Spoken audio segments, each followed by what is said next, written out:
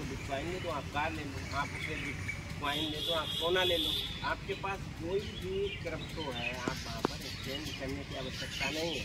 सीधा सीधा लेन then Singapore में भाई कई देशों ने एक्सेप्ट कर लिया है। जिन देशों ने एक्सेप्ट नहीं किया, वो बता रहा है, जैसे पाकिस्तान ले लो, भूटान ले लो, बांग्लादेश ले लो, म्यांमार ले लो। टमाटर खरीदने के औकात क्रिप्टो क्या खरीदेंगे।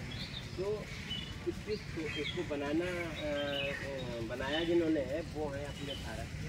समीर केसरी और समीर केसरी जी जो है वो ब्लॉक चेन डेवलपर भी हैं पूरे विश्व में। तेरह हज़ार ही हैं जिसमें समीर केसरी भी इथिकल हैकर के रूप में ब्राज़ील सरकार के लिए आठ वर्ष काम किया। उन्होंने इस कॉइन को बनाया। उनतीस दिसंबर 2020 को एक इसका टाइम पीरियड भी होता है, जो लॉन्च किया गया उस समय। तो ग्यारह बजकर उनसठ मिनट उनसठ सेकेंड और उन्नीस नैनो सेकेंड पर ये लॉन्च कर दिया। और हम सबके बीच में इक्कीस जनवरी दो हज़ार इक्कीस को ले आए। इसकी कीमत रखी थी उस समय मैंने, मात्र अस्सी।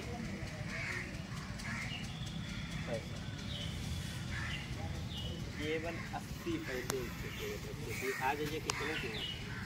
इसका तीन परसेंट डाउन तो आठ सौ चौरासी रुपये बारह पैसा। आज इसकी कीमत हो गई आठ सौ चौरासी रुपये बारह पैसा। मतलब पैसा बढ़ा है। समय कितना हुआ? अभी दो साल ढाई साल हुआ है। अगर आप कहीं एक प्लॉट खरीदें वो प्लाट पाँच साल के बाद भी दस लाख का खरीद के बीस लाख का बेच देते हैं तो खुशी का ठिकाना नहीं है। पड़ोसी लोग बात करते ना बन